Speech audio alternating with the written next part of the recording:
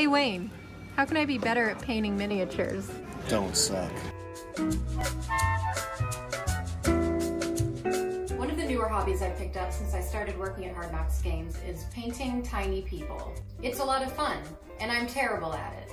Recently, I acquired a box of Warmachine miniatures to practice painting and try to get better. I really like these guys. There's a girl with a sword, a bone boy with a sword, and a whole bunch of other bone boys. I think they're really cute. After a few hours of painting, I realized that I really hated the way these guys looked. With my creative energy at an all-time low, I decided to walk down to Freeman Lake and spend some time with nature to reflect on my life choices.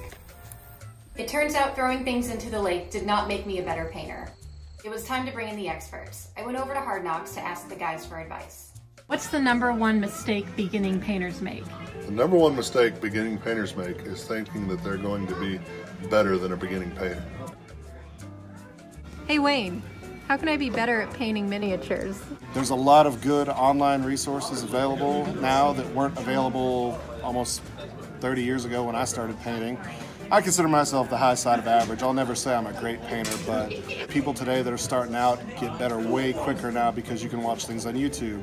Uh, one of my favorites, Kenny Boucher, uh, Next Level Painting. He's amazing. He's got a lot of great advice.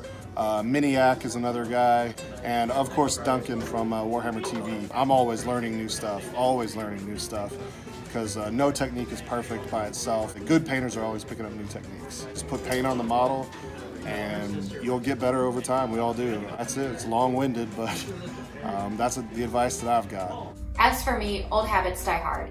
I reverted to my chaotic evil habit of covering everything I didn't like with glitter so that nobody would notice how bad it actually was. Did using glitter make my miniatures look better? Heck no, but it sure did distract people from how bad I'd actually painted them. And hey, speaking of painting, we are almost done renovating our new location on Dixie Highway. Wayne spent the better part of the week refinishing the floors in the back room, which is where we will have all of our gaming tables set up, and I spent the better part of the week doing no physical activity whatsoever. Before I go, I just want to give a quick shout out to all of our old and new subscribers. We are so glad you guys are here. You're the very best.